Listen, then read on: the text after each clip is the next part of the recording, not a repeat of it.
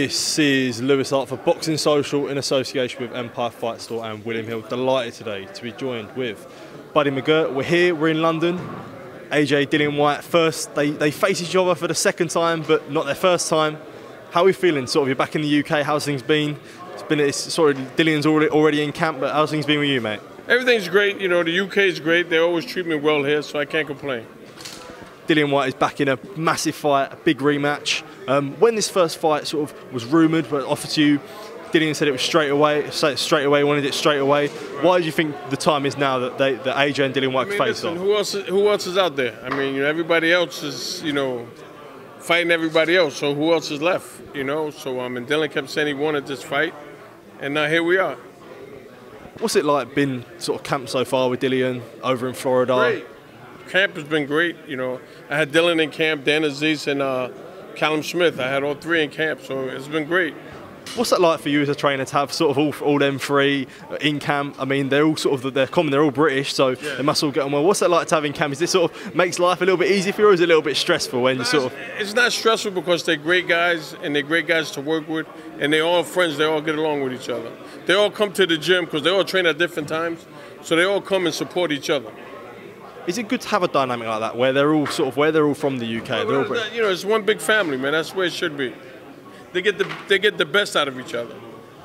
So your second fight with Dillian, working with him. When you first linked up, when you sort of first linked up with him, what were the sort of the main goals that you wanted with Dillian? First working with him and sort of the, the both sort of the path that you wanted to align with him.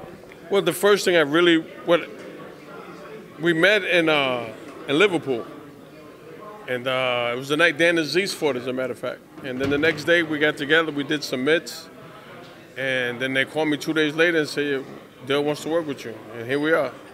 And when you work with fighters experienced as Dillian is, he's been around, he's been at the top, he's fought for world titles. What would you say your aim now, where you compare compare him to a fighter who's sort of just coming through, just turned over pro, where you where you work with someone like Dillian? How would you adapt, and how is it different to work with a guy like Dillian who's so experienced? It's, it's not difficult because he's he's a guy who's willing to learn. So when you get someone that's willing to learn and do what you ask them and you show them, that makes the job so much easier and it makes it fun. How big do you think this this rematch is for Dillian in his in his career at the time? You know, I think it's like fighting for the heavyweight championship of the world for him.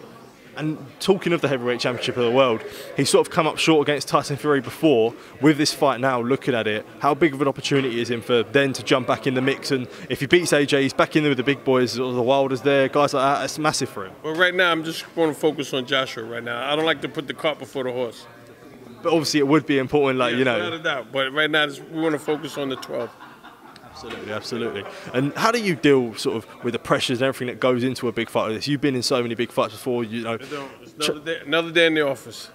That's fair enough. But moving on, sort of, you just mentioned Callum Smith there. He's in a massive fight against Artur Beterbiev. Um, sort of touching on him, what's camp been like for him? How big's that been for him? Camp is great. It's a big fight. You know, he got three world titles on the line. You know, the WBCA, I believe, the IBF, the WBO, and uh, he's excited, and uh, I'm excited for him. And you know, what I mean, and uh, you know, we're just doing what we have to do to go get these belts. Another fun with him, how do you prepare for someone like Beterbiev who he's knocked out everyone in his face? Sort of potential signs of, of wear and tear with him, but he's knocked out everyone in his face. He's sort of labelled as a monster. Everyone builds him up to be sort of this big star. With someone like Callum Smith, how do you even how do you prepare for a thing like that? Is it about sort of do you almost sort of own it in a way that he's this monster and you're you're, you're getting ready for, for the best Beterbiev that's possible out there? Oh, we're getting ready for the best Beterbiev because we know that he's going to step up his game with Callum. So we're getting ready for the best that there is. Whatever he has left, he's going to put on the line, and we're preparing for that. Buddy, do you want to say thank you for your time? I really appreciate you taking the time to speak to me. And, uh, My pleasure. I'll see you in a bit. Thank you. I think.